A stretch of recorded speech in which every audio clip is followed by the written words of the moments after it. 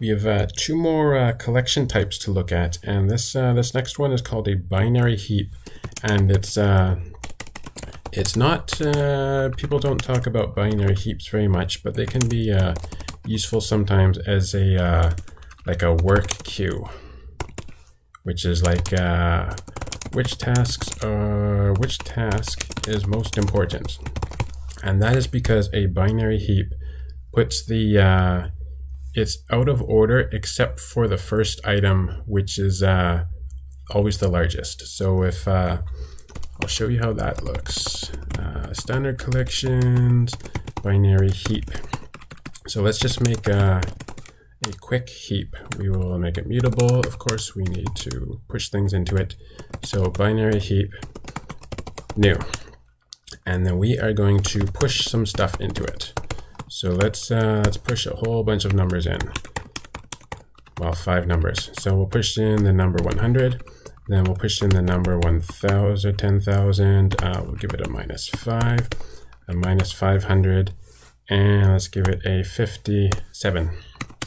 And then we are going to do use a while let statement to, uh, we're going to use this uh, pop method to, uh, to pop it off. So uh, one item at a time. So uh, let's see, well, let Some.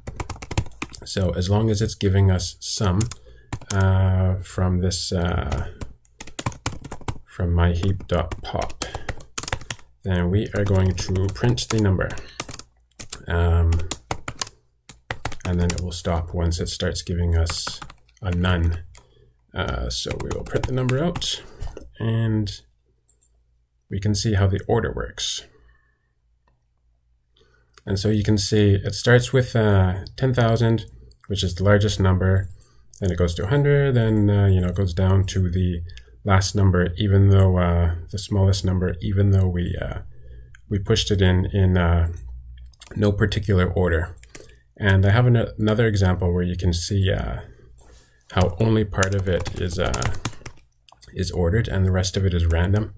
And let's say we have a a function. We'll call it uh, show remainder.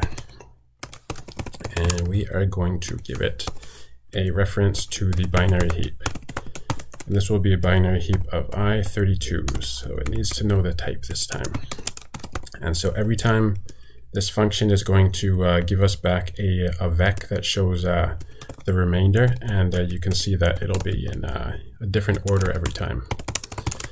So we will say let's see, we'll put together this, uh, this thing called remainder vec. And for a number in input, we are just going to push it in.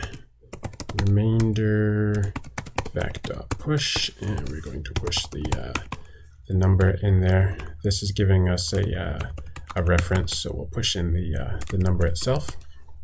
And then we are going to uh, return the remainder vec. So this will show us every time what's remaining in our binary heap.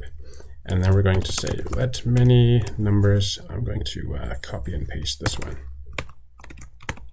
And the important thing about these numbers is they're in order, right? 0, 5, 10, 15, 20, 25, 30. But when you put them into the heap, they will not be in order anymore. So let mut my heap equals uh, binary heap new and then uh, for a number in many numbers, we are going to push these in and they will be in order, but once they go inside, they will not be in the same order. My heap.push number. And then now we are going to uh, start popping them off with the same thing. We will have a uh, Some number equals uh, my heap.pop. So if we get a Some, then uh, it will give us the number and we will call it number here and we can start working with it. And then we will say popped off something and then uh, the remaining numbers are and this is where we will use our our show remainder function.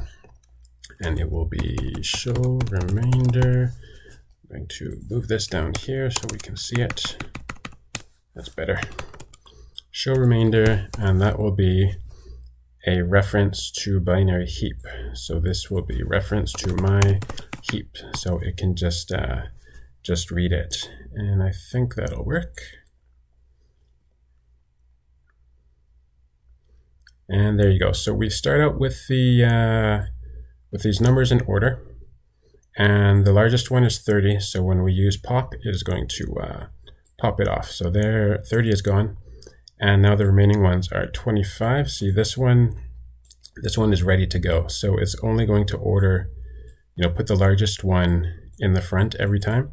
And these ones are not in order. So 15, 20, 0, 10, 5. And so that's not in order. It might be in order, but it might not. And so you can see every time 25 is the largest, so it's there 2015. So that is the way a binary heap works. And so, like I said, it's good for a, uh, a work queue if you want to, like, uh, if you have some, uh, some things that need to be done and you, uh, you only, you, you want this to be automatically, you know, the most important one to be uh, the one that gets popped off first, then, uh, then a binary, binary heap is a really convenient way to do that.